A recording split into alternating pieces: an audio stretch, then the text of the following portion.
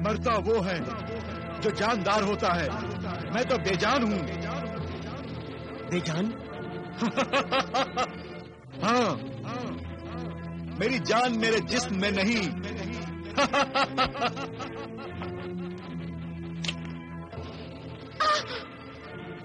मुझे बचा ले। बेटे मुझे बचा ले। अरे जल्दी कर मरदूद वरना तेरी माँ जहन्नम में चली जाएगी।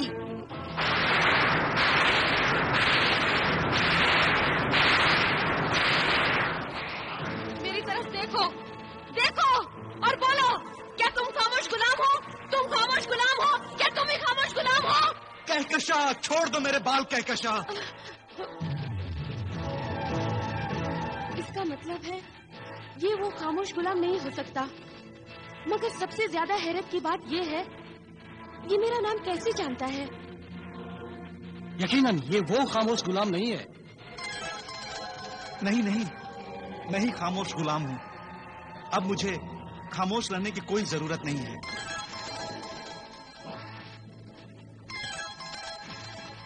अच्छा हुआ आप मुझे तलाश करते करते यहाँ पहुँच गए। दरअसल मुझे आपकी ही तलाश थी। मगर ये सारा किस्सा क्या है? मेरी तो कुछ समझ में नहीं आता। मैं सब समझा दूँगा। मगर यहाँ नहीं। पहले मुझे यहाँ से ले चलिए। कहकशा इसकी आज़ादी की कीमत हमने चुका दी है।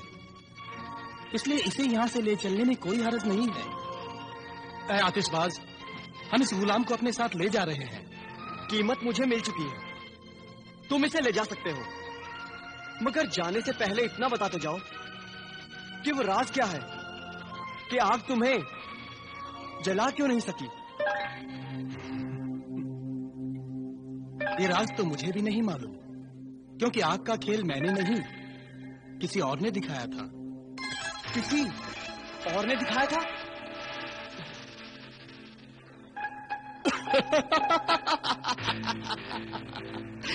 आतिशबाज, ये भी एक राज है। राज के पीछे और एक राज। ताजुब है।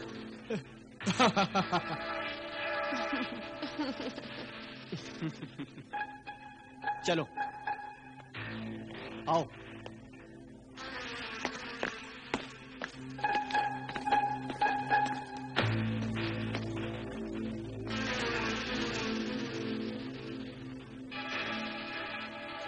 मैं तो खुद को ही बड़ा आतिशबाज समझता था मगर यहाँ तो मेरे भी उस्ताद पड़े हैं। आसिफ मुझे शक है कि जिस खामोश गुलाम को हम आज़ाद कराना चाहते थे ये गुलाम वो नहीं। तुम्हें ये शक क्यों हुआ कहकशा क्योंकि हमराज हरफे की शर्त के मुताबिक जजीरा खयाबान के खामोश गुलाम को हम आज़ाद करा चुके हैं। हाँ तो फिर? तो फिर शहजादी तस्वीर तिलिस्मी आईने की कैद से आज़ाद क्यों नहीं हुई? अरे हाँ कहकशा इस गुलाम ने तुम्हें नाम लेकर क्या पुकारा? हम अपना असल मकसद ही भूल गए। तुम दोनों एक बात और भूल रहे हो। कौन सी बात? याद है हमराज हरफी ने कहा था कि खामोश गुलाम का ताल्लुक शहजादी तस्वीर की आज़ादी से ही नहीं बल्कि कहकशा से भी है। अरे हाँ। हाँ वाकई हमराज हरफी ने यही कहा था। बेहतर है कि इस मुश्किल का हल हम शहजादी तस्वीर से ही पूछ लेते हैं।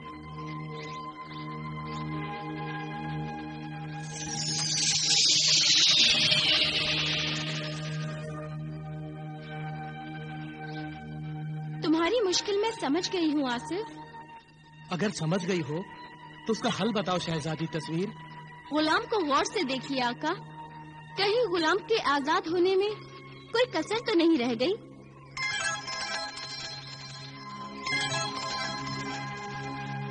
देखो अल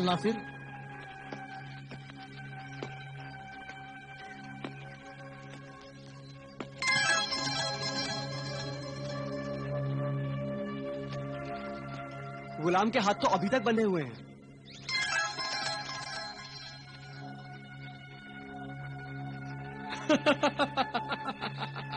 अरे, खामोश गुलाम तो सचमुच ही बड़ा शरीफ और खामोश तबीयत का है। अब तक इसके हाथ बंधे हुए हैं, फिर भी ये खामोश है। अल नासिर फ़ौरन इस गुलाम के हाथ खोल दो। जी।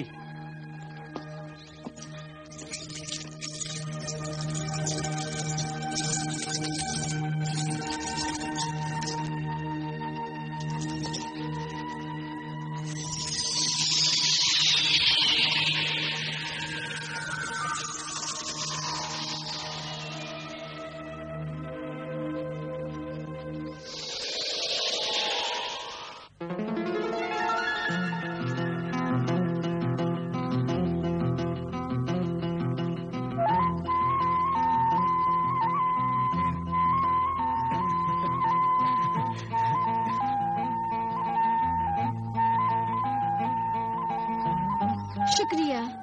बहुत बहुत शुक्रिया मेरे मोहसिन। शुक्रिया आसिफ कहकशा अल नासिर और तूतुल फितना। शहजादी तस्वीर को उम्मे खबीस के तिलस्मी आईने की कैद से आज़ाद कराने के लिए तुम सबका शुक्रिया, और तुम्हारा भी शुक्रिया, ए अजनबी गुलाम। मैं नहीं जानती कि मेरे तिलस्मी कैद से तेरा क्या ताल्लुक था?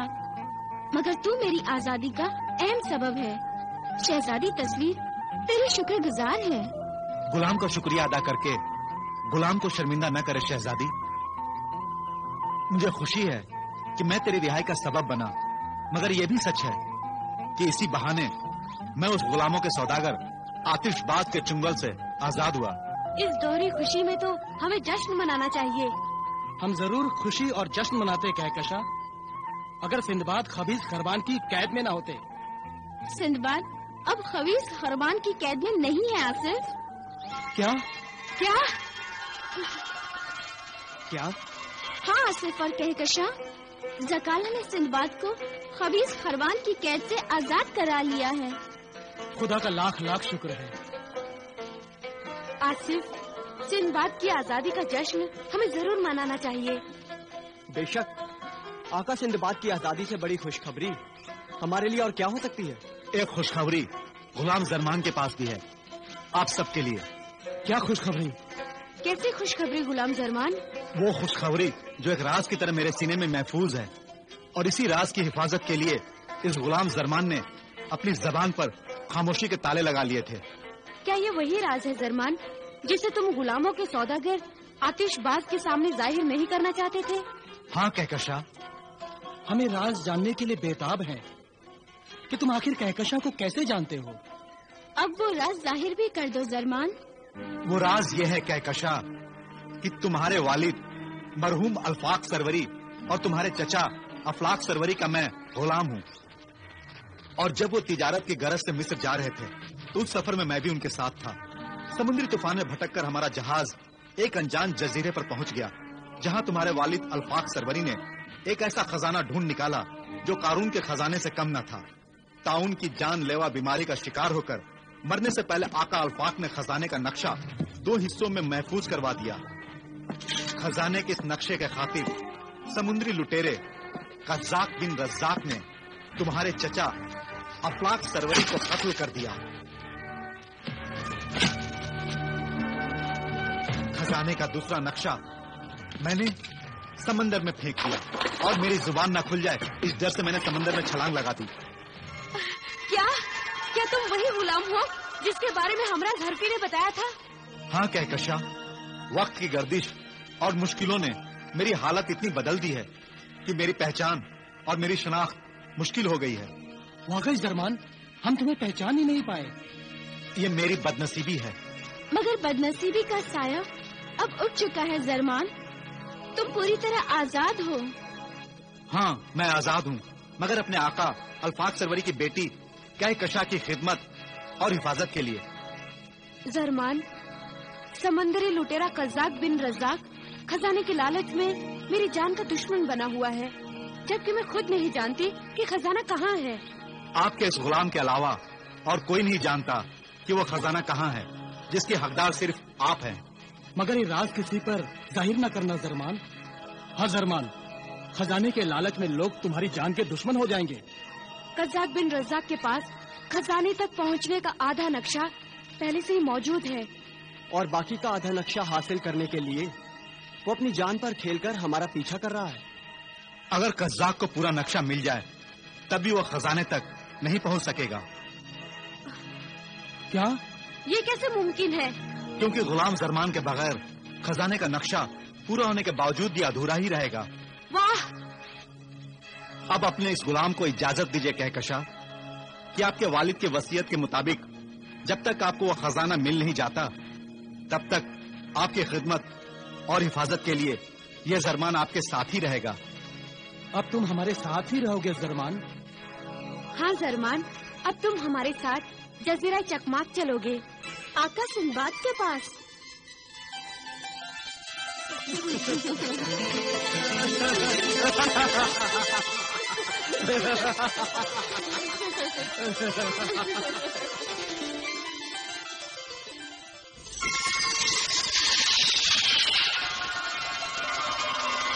जरनिगार आ गई।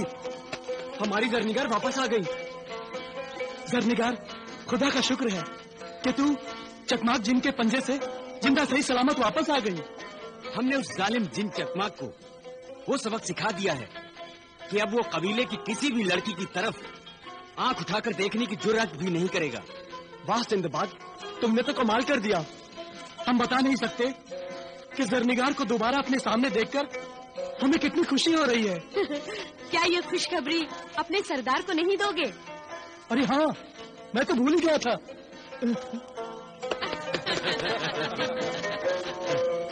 सरदार सरदार। सरदार सरदार। जरनिगार वापस आ गई। क्या? जरनिगार वापस आ गई? हाँ सरदार। सिंदबाद आपकी बेटी को वापस ले आया है। कहाँ है? कहाँ है मेरी बेटी? कहाँ है मेरी बेटी? कहाँ है? जरनिगार। मेरी बेटी मेरी बच्ची। बाबा। बेटी।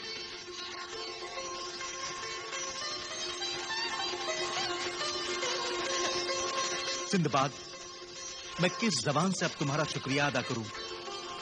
तुम्हारी वजह से आज एक बेबस बाप को उसकी खोई हुई बेटी मिल गई। जरनिगार को बचाकर तुमने इस इस कबीले की आबरू बचा ली है। सिंदबाद सरदार जिंगारू शुक्रिया तो उस खुदा का अदा करो जिसने सही वक्त पर जकाला को मेरी मदद के लिए भेज दिया। जकाला सरदार जिंगारू तुम्हारा भी एहसान मंद है। शुक्रगुजार है। इसमें एहसान की क्या बात है जिंगारू? मेरे मोहसिन सिंदबाद की मदद करना मेरा फ़र्ज़ था।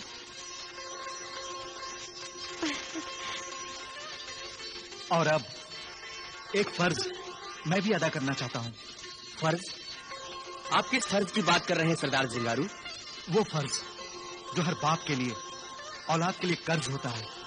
और ये फ़र्ज़ ये कर्ज अदा करने में हर बाप खुशी महसूस करता है। सरदार जिंगारू कहीं आप अपनी बेटी के हाथ किले करने की बात तो नहीं कर रहे हैं? हाँ जकाला। कबीले की रस्म के मुताबिक सिंधबाद और जरनिगार एक ऐसे मुकद्दस रिश्ते में बंध गए हैं जिसे तोड़ना गुनाह है। अब मैं सिंधबाद और जरनिगार की जल्द से जल्द शादी कर देना चाहता हूँ। मगर सरदार तुम तो जानते हो कि मैं जजीरे चकमाक में शादी करने नहीं किसी और मकसद से आया हूँ। अनहोनी बात कभी होती नहीं और होने को कोई टाल नहीं सकता सिंदबाद हमारे कबीले की लड़कियाँ इतनी बेहया और बेगैरत बिल्कुल नहीं है कि वो किसी भी अजनबी इंसान के गले में फूलों का हाथ डाल दें। जबकि वो कबीले की बरसों पुरानी रस्म को अच्छी तरह से जानती हैं। अगर जरनिगार ने तुम्हारे गले में फूलों का हार डालकर तुम्हें अपना शोहर तस्लीम कर लिया है तो हो सकता है इसमें वो खुदा की कोई मसलिहत हो या कुदरत का कोई राज छुपा हो। हाँ सिंदबाद तुम्हें इस शादी से इनकार नहीं करना चाहिए।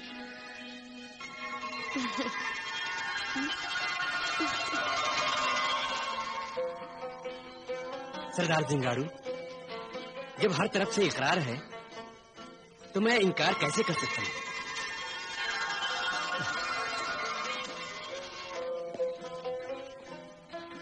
सिंदबाद खुदाई कानून के मुताबिक, तुम दोनों शादी के बंधन में बंध गए हो। मगर कबीले की पुरानी रस्म के मुताबिक, मियाँ बीवी मानने के लिए एक दूसरे को ये फूलों का हार डालना भी ज़रूरी है।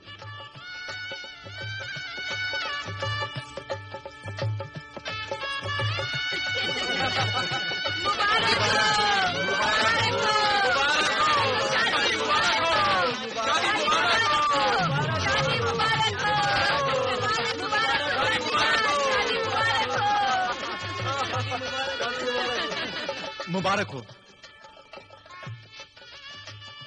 मुबारक हो। कबीले के रिवाज के मुताबिक सारी रस्में पूरी हो चुकी है। इसलिए अब तुम दोनों कबीले की रस्म के मुताबिक भी मियाँ बीवी बन गए हो। बाबा हर कदम पर मेरे शोहर की कामयाबी और उनकी लंबी उम्र की दुआ कीजिए। अल्लाह सदा सिंदबाद को सलामत रखे और हर मुहिम पर कामयाबी दे। और बेटी खुदा तुम्हें भी लंबी उम्र अता फरमाए। नहीं बाबा। मुझे लंबी उम्र नहीं चाहिए। ये क्या कह रही हो बेटी? हाँ बाबा। गुमनाम लंबी ज़िंदगी लेकर मैं क्या करूँगी? मुझे तो ऐसी ज़िंदगी चाहिए जिसमें मेरा नाम हो। मैं लोगों के काम आ सकूँ। और लोग मुझे सदा याद रखें।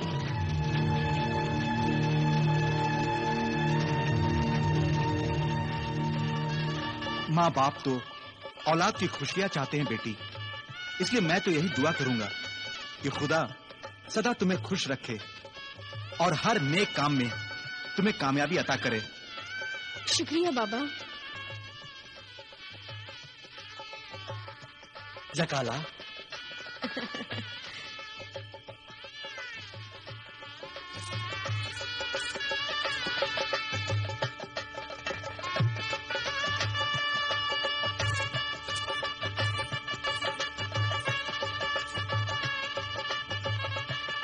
जकाला, आप हमें दुआ नहीं देंगी? जिसे सिंबाद जैसा शौहर मिला हो और सिंबाद को जरनिगार जैसी बीवी मिली हो, उसे दुआओं की क्या ज़रूरत है हाँ?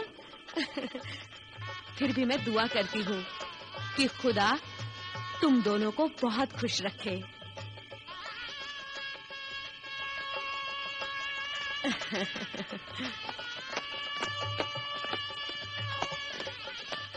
आओ कबीले के रस्म के मुताबिक माँ जिम्बा से भी दुआएँ ले लो। ज़रूर।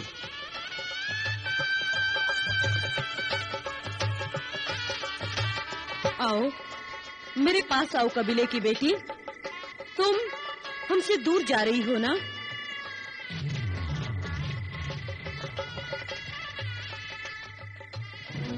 जरनिगार तू अपनी बातों के पर्दे में अपने दिल की बात चाहे छुपा ले। मगर मेरी तिलिस्मी नज़र सब देख रही है कि तू कौन सी कुर्बानी देने जा रही है। सब लोग तुझे दुल्हन के जोड़े में देख रहे हैं, मगर मेरी तिलिस्मी नज़र मुझे दिखा रही है कि ये जीता जागता बदन जल्द ही कफन ओढ़ लेगा, कफन ओढ़ लेगा। मगर तेरी कुर्बानी बेकार नहीं जाएगी। जजीराए चकमाक जालिम जिनों के चुंगल से आज़ाद हो जाएगा, ज़रूर आज़ाद हो जाएगा। क्या हुआ माजिम्बा कुछ नहीं। मैंने सब देख लिया है, सब समझ लिया है, सब जान चुकी हूँ। सिंदबाद को अपना शौहर तस्लीम करके तूने हम सब पर बड़ा एहसान किया है। ये एक यादगार और अनोखी शादी है। तूने सिर्फ़ सिंदबाद से ही नहीं, अपने मकसद से भी शादी की है। जरनिगार तुझे ये कबीला हमेशा याद रखेगा।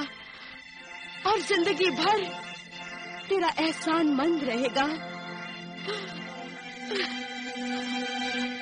आ, गले लग जा बेटी। गले लग जा।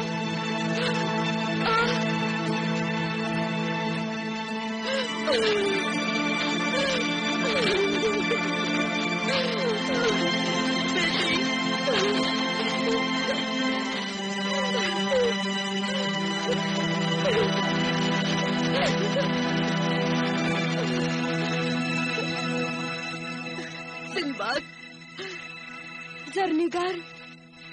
हमारी थी।